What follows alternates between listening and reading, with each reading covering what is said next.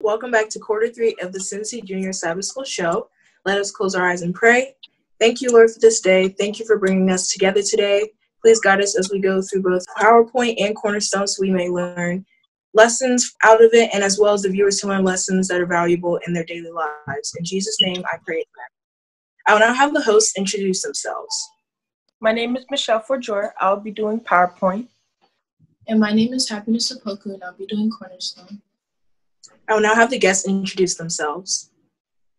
I'm Jared, and I'll be participating in the Cornerstone discussion today. I'm Manuela, and I'll be participating in the PowerPoint discussion. As the cases of coronavirus continue to rise across the state and nation, the stay at home order was signed and implemented.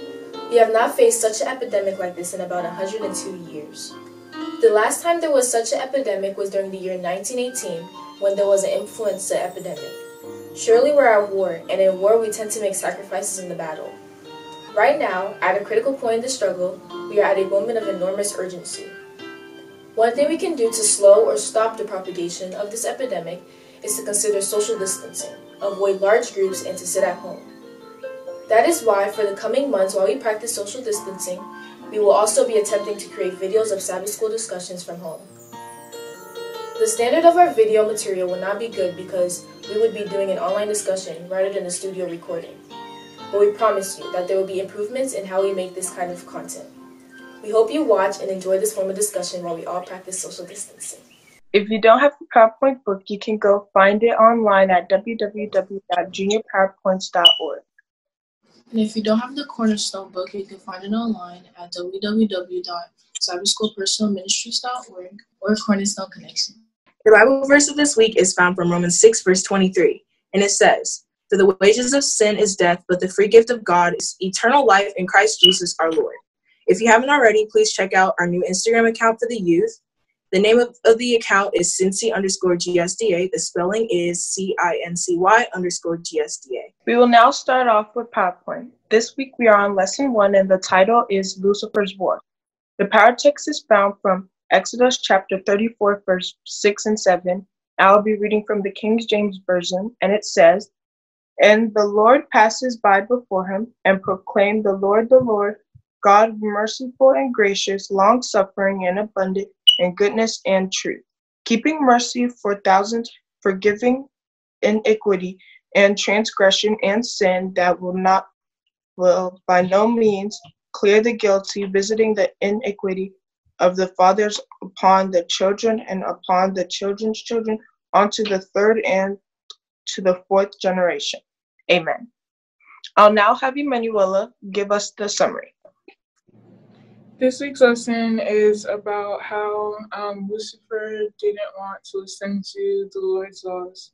He said that they were too strict and they were unfair, and how even though he was the highest ranking angel, how he wanted to have more power. So um, the angel Michael was trying to talk to the other angels who were rebelling against God, saying that um, how God's laws aren't very strict. He just wants obedience and love. And the angels didn't want to listen. So God gave Lucifer many opportunities to repent and give and stay in heaven with God, but instead he wanted still wanted more power and was greedy to have more power and not listen to the laws of God. So instead, um, God stood at his gate, heaven's gate, and led Lucifer and the angels who rebelled out. So, because God didn't want others to also follow in Lucifer's rebellion, he sent his son onto the earth to die on the cross for us so that we'll be able to receive salvation and eternal life. And that's where the story ends. Thank you for your summary. Now on to the questions. So, Emanuela, who was Lucifer to God? Lucifer was one of the highest ranking angels. If you look in the Bible, um, he also had a beautiful voice and he's one of like the most beautiful angels in heaven. What was Lucifer's first false claim and why did he why do you think he felt that way? Um, his first false claim was that God's laws were unfair. He felt that way because he would he thought that he should be a part of the important decisions that were being made But instead, since he wasn't a part of them, he thought that the laws were unfair and wanted more power. So he decided to rebel. So, what were the consequences of rebellion against God's law of love? Um, the consequences against God's law of love was for him to um, leave heaven. Heaven, even though God had given him many opportunities to repent and you know give up his rebellion, he still decided to follow through with what he thought. So he still had he had to leave heaven. Is that how you would describe hell? Hell is um, a place where uh, you go because you decide to not follow God's laws, even though God's laws are obedience and love. So, yes, I would describe hell as. In the story, it says, The father was gracious and willing to forgive them. God loved them in spite of what they had said and done. All they had to do was repent. If you were in God's place, would you have forgiven them that easily and would you still have loved them? Honestly, um, after giving you many opportunities to forgive, I would not. Um, after giving you many opportunities to like come back and not rebel, I wouldn't be able to forgive. But that's how you know God isn't just like any normal human because us humans, even when somebody does something wrong against us, will hold a grudge for a very long time before we actually decide to forgive them. But when we sin against God, no matter how many times we sin against Him, as long as we realize what we did is wrong and we decide to repent and come back to God, He accepts us with open arms. I also agree with you. I feel like that it would be hard for me to forgive them after all the chances that you have given them. And like you said, it shows that God is a very forgiving person and that you can do the worst thing and God will still forgive you for it. So, do you understand where Lucifer is coming from? I do understand his point about the fact that um, he thought it was unfair that since he was one of the highest ranking angels, he should also be a part of the decision making. But I think it was unvalid and unnecessary for him to think that he should have even more power than God himself. So the fact that he rebelled and did all that and took angels with him into his rebellion, I think was unvalid and unnecessary when he could have just repented because he already had enough power. And have you ever felt what Lucifer felt? Um, when evil takes over you, yes, you do feel the way that uh, Lucifer felt when he was unable to get the power that uh, he wanted but that's what evil is. It takes over you, and especially in this world where there's a bunch of evil, it is very easy for a person who doesn't have a strong relationship with God to easily turn to evil instead of following God's path. I feel like I agree with you. I also feel like jealousy is something that Lucifer felt, and many people feel jealousy at some point in time in their lives. I've also felt that too. So, what lesson or lessons can you get from this passage? Um, what I've learned from this passage is that we have a very forgiving God. Um, he gave Lucifer many opportunities to turn back and not follow through with his rebellion. And it shows me that um, even though I may sin against God, God still has love for me. And the fact that he was able to send his only son onto the earth to die for me because he didn't want me to follow through with Lucifer's rebellion shows me how much he truly loves us. That's good. Another lesson that I got from this was the way you respond to your emotions. It, if it's a good way, then you you'll probably go to heaven. And if you respond how Lucifer responded, you probably won't make it to heaven because you didn't follow God's law. So thank you for your responses, Emanuela. Now, this week's question of the lesson is How did God first appear to Moses? Type your answers in the comments below. Okay, so we're also on Cornerstone, and this week we're on lesson one, and the title is Who Me. The key text is found from Jeremiah 1, verse 5, and it says, Before I formed you in the womb, I knew you. Before you were born, I set you apart. I appointed you as a prophet to the nations. Amen. Jared, can you please give us a summary? Uh, this week's lesson focuses around the prophet Jeremiah.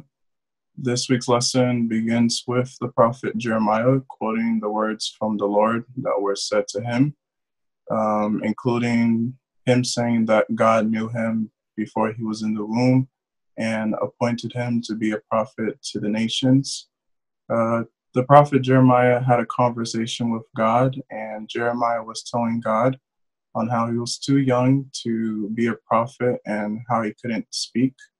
And God replied to Jeremiah saying that he shouldn't be afraid because he would be with him and would rescue him. Uh, after saying this, the Lord gives Jeremiah three signs, and the first sign was the Lord touching Jeremiah's mouth, and that symbolized the Lord giving Jeremiah the words that he would need to speak to who he was going to be sent to. The second sign was the branch of an almond tree, and that represented God waiting for his word to be fulfilled. And the third sign was a pot that was tilting to the north, and that represented the northern kingdoms coming to the place and land of Jerusalem, and how the people there would forsake God and burn incense and worship the things that they made with their hands. And the lesson ends with God telling Jeremiah that he's supposed to go wherever he commands Jeremiah to go to, and that the people of the land will come against him, but he shouldn't be afraid, um, as he reminds Jeremiah again that he would be with him and will rescue him. Ending this week's lesson. Thank you, Jared, for your summary. Now on to the question. So the first thing we're going to talk about is why did God choose Jeremiah to become a prophet? Uh, I think God chose Jeremiah to be a prophet simply because that was God's will for him. Uh, God placed the abilities um, that were necessary for Jeremiah to become a prophet. What did God instruct Jeremiah to do? Uh, God had told Jeremiah that um, he was to go to wherever and whoever uh, God had told him to go to and do what he commanded, which included going to Jerusalem and warning the northern kingdoms, and the kings that were in Jerusalem, and the people there to turn away from what they were doing, which wasn't good, and to turn back to God. So God already had plans for Jeremiah before he was born. So what does that show about God's plan for our lives? Um, it shows that God has a plan for the person watching this and for everyone that's on earth right now and who will be on earth later on. Uh, God's plan for our lives is great and it's even better if we're willing to partake in it. Uh, there will be some times of uncertainty, um, hard times, and difficulties, but we can rest assured knowing that we're able to conquer them and be able to, in the long term, enjoy the plan that God has for each one of us. Do you believe God has a purpose in your life?